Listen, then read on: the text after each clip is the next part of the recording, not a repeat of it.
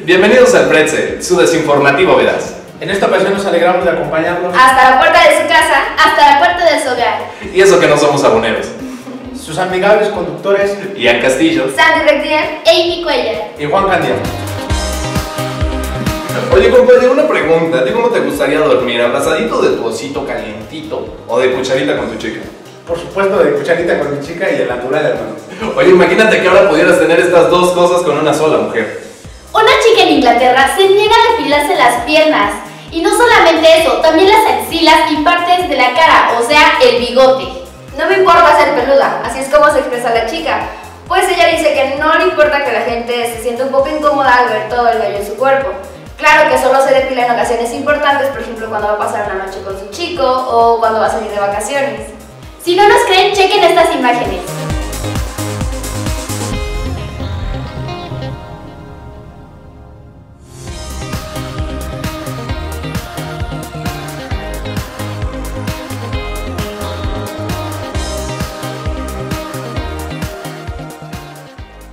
Yasmín, que desde los 13 años ha sido buleada, Decidió abrazar su problema y entonces invitó a más mujeres a que se unieran a su causa, evitando también depilarse para que pudieran estar cómodas con su vello.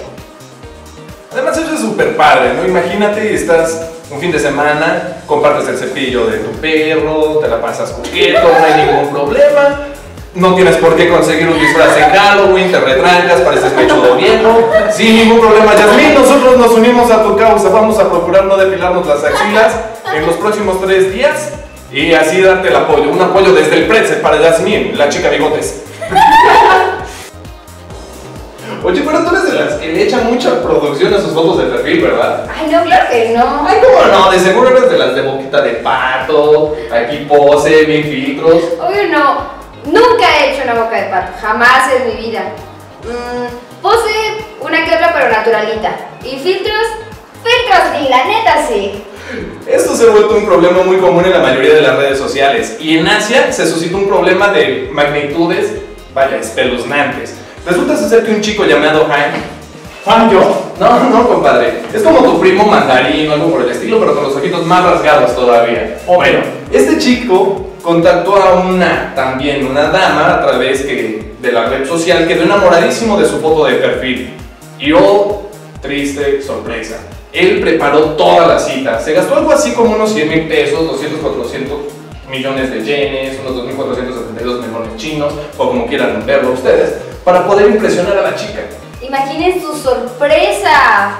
Cuando llegó esta chava y él se dio cuenta de que tenía unos kilitos de más y que en la cara este, tenía acné.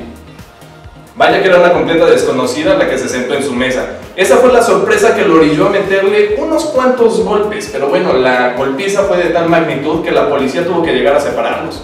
¿Cómo que la policía tuvo que llegar a separarlos? Eso es increíble. Aparte, también es la culpa del chico. ¿Por qué tanta vanidad? Bueno, lo que pasa es que también no te pueden dar gato por liebre. Ay, bueno, es lo mismo. Imagínate que llega una chica linda esperando un Brad Pitt y se encuentra contigo. Yo haría lo mismo. Definitivamente. Gracias por los golpes, ¿no? Además, yo siento que no podría llegar solo la policía, también tendría que llegar Greenpeace y una grúa para podernos separar con ese sobrepeso. Pero bueno, chicos, esto nada más les queda como una simple anécdota y la moraleja de la historia es que no les den gordita por liebre. Aguas con la vanidad. Y cuidado con los filtros. Chicas, ¿cuántas veces han ido caminando por la calle tranquilas, sin ningún problema, vestidas de una forma casual, atractiva, coqueta, y de repente se encuentran con el típico guarro que comienza a gritarles? Ay, mamacita. Este tipo de comentarios son los que nos friegan la existencia día con día. Porque tienes que condicionarte en tu manera de vestir. Porque no te puedes poner un short, un vestido coqueto, sin tener que estar lidiando con este tipo de personas. Bueno, si creen que este es un problema muy común en esta ciudad, imagínense en Tailandia, donde los índices de violación se han disparado a niveles estratosféricos.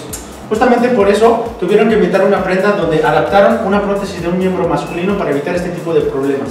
Y bueno, este aparato fue creado precisamente para alejar a todos esos tipos acosadores pervertidos de las muchachas que quieren solamente salir a pasear tranquilas. Así es, entonces les recomendamos que tengan cuidado y si pueden conseguir una cosa de estas, ¿por qué no? ¿Qué susto le meterían a cualquier tipo que se les quisiera acercar en la noche para querer hacer cualquier cosa? Y llegamos a la nota final de este programa. Mientras unos se lo ponen, otros se lo quitan. Esta es la noticia de Bruce Jenner que ha decidido convertirse en mujer y ahora su nombre es Caitlyn. Imaginen qué susto que se te pierda un labial o que se te pierda un barniz o que se te pierda un rímel y lo encuentres en el cuarto de tu padrastro. Yo sinceramente no me imagino la cara de sorpresa que se llevaron las Kardashian y las Jenner al descubrir todo esto de su padre. Realmente esto se ha vuelto viral en la mayoría de las redes sociales, trending topic en Twitter y tenemos los mejores memes que han circulado a través de Facebook. Ahora también tenemos un gran problema, no sabemos si es suegrastro o suegrastra, Abuelo o abuela. definitivamente. ¿Qué más da? ¿Dos por uno? ¿Por qué no? Sin embargo, mi meme favorito es donde comparan a su ex esposa con él. Sin embargo, tengo que aceptar que él se ve mucho mejor que ella. Esto ha sido todo por esta ocasión. Recuerden visitarnos en Centro Holístico Reencuentro, donde encontrarás alternativas diferentes como ozonoterapia, acupuntura, lectura del iris y algunas otras terapias. También les recordamos que estamos a sus órdenes en la compañía teatral Espejo Ilusión, ubicada en Santana Chatempa, pasando en Puente. Ahí podrán encontrar zanqueros, malabares, fuego y lo que necesiten para su show de su fiesta o alguna obra teatral. También los invitamos a buscarnos en todas las redes sociales como Índice 7, compartir, dar me gusta y todo lo que sea posible para darnos a conocer.